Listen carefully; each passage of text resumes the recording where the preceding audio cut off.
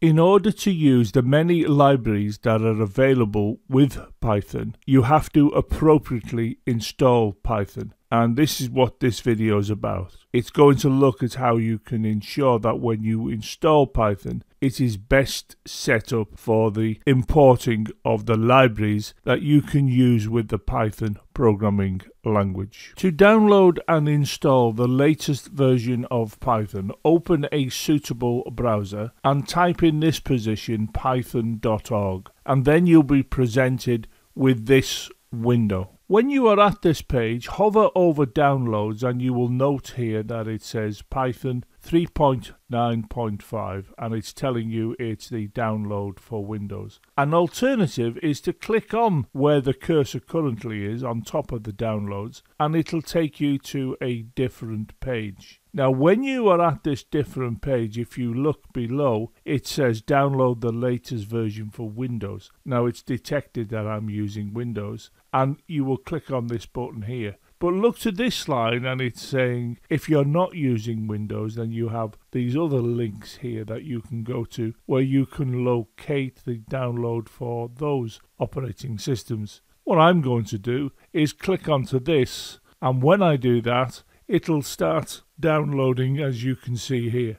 Now, this will take a while, so I'll just wait. I'll pause the video at this point and restart when the file has been downloaded. Once the file has downloaded, locate your downloads folder and you'll see at the top here we have got Python 3.9.5.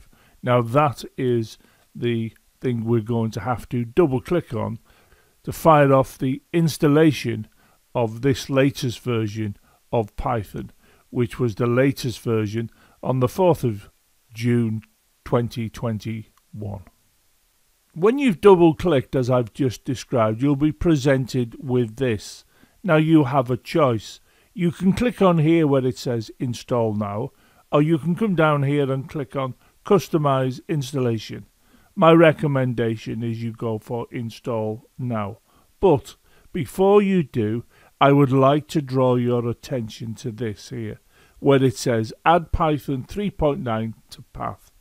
Now my recommendation is that you click onto that and then come up here and click on to install now. If you forget to click onto this, it'll cause issues for you later on in your Python work when you want to install libraries. You can manually go into Windows and add Python to the path, but you may as well do it here and stop issues appearing later on in your work in Python. So what I'll now do, I'll come up here and I'll click on install now and off it goes saying setup progress and it tells you that it is installing. Now this will take a short while so I'll pause the video at this point and return when it's finished. Now you will note here that it says disable path length limit. Now what this means, in an appropriate place within Windows there's a file and that file has paths to various bits of software. One of which is Python because remember we tick that box at the beginning of the installation process but there are other things in that path that will be of interest to you when you start using libraries. So you have a choice at this point.